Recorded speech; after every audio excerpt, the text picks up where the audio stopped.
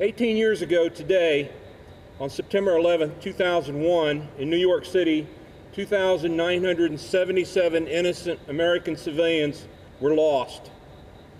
Of the 2,977 lost lives, 412 were emergency responders, firefighters, police officers, and emergency medical technicians were needless, needlessly ripped from us on this fateful day.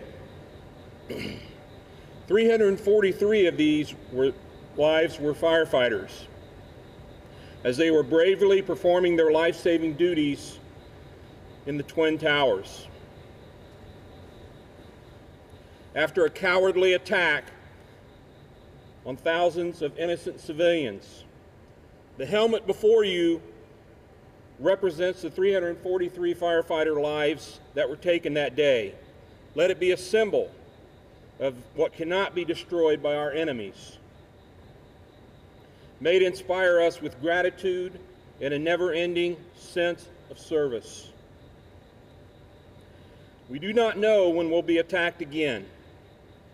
Today could ultimately be an uneventful yesterday to an uneventful tomorrow. But we must never forget the possibility that tomorrow could be the day, or today could be the day, of an attack yet to be waged. We cannot be lulled into the same false sense of security as many of our countrymen. We must train and prepare. We must be ready for the attack today and hope that it never comes. Many of us can remember exactly where we were and what we were doing on this awful day. We're now starting to welcome a new generation of recruits that will have no life experiences or memories of these horrific events. In today's society, we face many new challenges and dangers. All across our great country, domestic terrorism reigns. From Dayton, Ohio to El Paso, Texas, and the USA over. We will steadfastly stand strong, steady, and undeterred from performing our life saving mission. Momentarily, the ceremonial bell shall ring the four fives to remember and memorialize the 343 firefighters and other responders that were lost on September 11, 2001. The fire service is rich with ceremony, custom, and tradition. Our custom of rendering final honors has its origins in the fire department of the city of New York where many years ago, long before radios or pagers, fire alarms, and daily announcements were dispatched from central headquarters to outlying firehouses by a system of bell commands and telegraph. Each different type of alarm or announcement would have its own number and series of bell strikes. When a firefighter died in the line of duty or when some, some important official died, headquarters would transmit five bell strikes repeated in four series, with a slight pause between each series, followed by the announcement. This was done as long ago as 1865 in the New York City Fire Department to inform the rank and file of the death of Abraham Lincoln.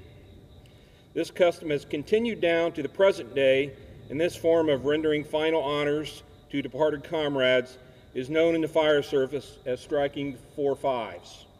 As firefighters and Americans, we can never forget the horrific events of this dreadful day. Ceremonial guard, ring the fives.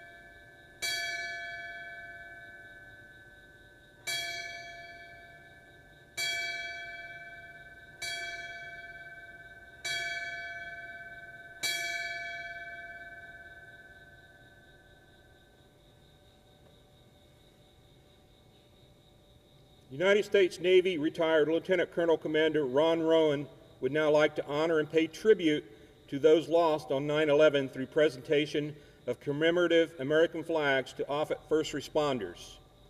These flags were flown over the U.S. Strategic Command headquarters and the Nebraska State Capitol in honor of our emergency responders.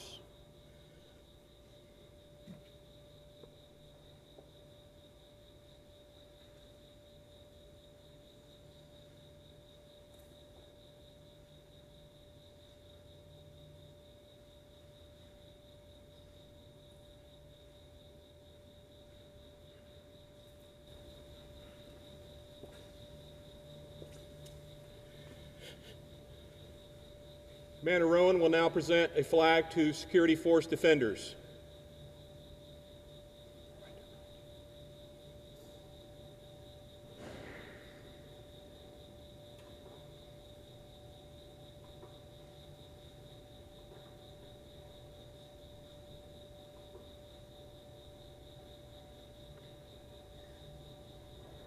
We'll now present a flag to the K-9 handling section.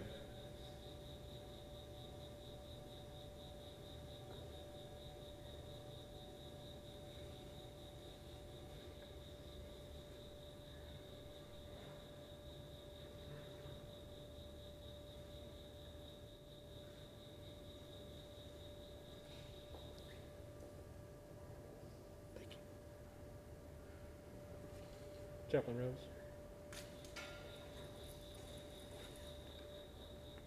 Would you join me in prayer? God, in an uncertain world, there are those who are called to serve and protect others. As we look around, we see people and challenges, dangers that we might describe as a wolf, looking to attack, to destroy, and to harm those that we might call sheep. But standing in between is the sheepdog. The firefighters, the defenders, the police, even the military, those who would stand in between danger and the everyday people. As we remember those who gave their lives so many years ago, we honor them for their selflessness, that they chose that profession and entered into an opportunity to serve others. We thank them for their service. For without them, we would not have the freedom and the peace that we enjoy. And we pray for those who love them, especially today as they remember their sacrifice and our loss. May those who gave their lives on September 11th, 2001, be an inspiration to us to better living to live out those values of selflessness, service, and excellence. And I know, Lord, they would want us to remember those who are deployed and in harm's way, performing that role of the sheepdog now. We ask that you would keep them safe and bring them back to us soon. We pray all these things in your powerful name. Amen. Ladies and gentlemen, this concludes our ceremony. Thank you for taking the time to honor our past firefighters who have given their lives and our present firefighters who take the call. Good day.